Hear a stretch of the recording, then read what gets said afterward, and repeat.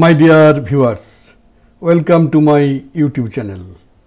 Today I shall discuss about 11 kV switch gear, its different parts and connections. Hope it would be helpful to you. Please know about switch gear first, then please watch the main portion of this video. To feed distribution voltage like 6 kV to 11 kV and even small transmission voltage like 33 kV an arrangement is taken where circuit breaker, PT, CT, bus bar, cable fixing and control panels etc. are kept close and compact condition enclosed in metal cell unlike using switchyard. So, all apparatus are comparatively small in size and these are accommodated within a single enclosure for an individual feeder is called switch gear. These switch gears are set up in row in control room for different feeders but connected with common bus. Why does switch gear matters? Provide protection to electrical appliances by interrupting overload circuits. Isolates the live portion of the system to protect operators. Controls the source used to feed a load within the system. Types of switch gear Metal enclosed switch gear Metal clad switch gear In metal clad switch gear, all of the internal components are individually clad in metal container or compartmentalized. Each of these components may also be insulated as in the case of bus bars, CT, PT, circuit breaker and grounded individually. And the different components can be removed individually as well with minimal effect on the overall system. In metal enclosed switchgear, all components are enclosed in a metal cell. There are minimal or no barrier between internal sections. Once the panel is opened, all of the components are there in one place. This is used for extremely small voltage.